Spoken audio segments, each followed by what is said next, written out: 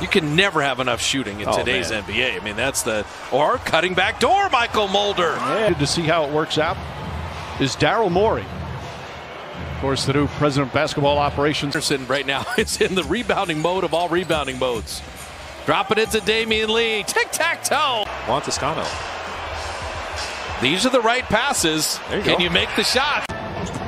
He just looked for his own offense. Oubre is so good. Great long arms, beautiful steal. Reward him with the hammer. So you see they jump the dribble handoff. So the reaction, that is a triple tic-tac-toe. Wiggins dunk that went awry and Harkless dunk. As Oubre, he's just going to lay it in this time. Warriors got you covered. All the info, warriors.com. Behind the back, that's our second tic-tac-toe of the night.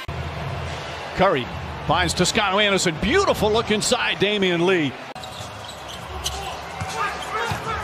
Split action.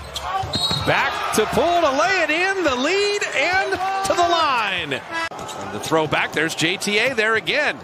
Pushing ahead. Wiggins, he will get this silly touch foul. The run is 13 to 1. Damian Lee gives it up. Toscano Anderson goes, gives.